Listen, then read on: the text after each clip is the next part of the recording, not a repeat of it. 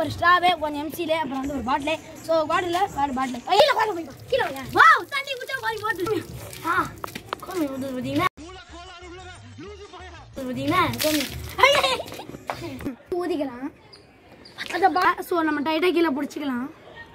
My God இப்போ தண்ணி ஊற்றுது announce பண்ணிக்கலாம். யோ கேமராமேன் அனௌன்ஸ் பண்ணுறாரு பார்த்துக்கலாம் இந்த மாதிரி நீங்கள் ஃபுல்லாக ஒரு வரைக்கும் வச்சுருக்கலாம்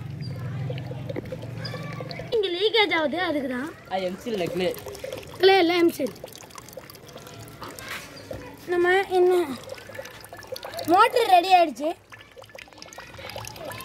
ஹாய்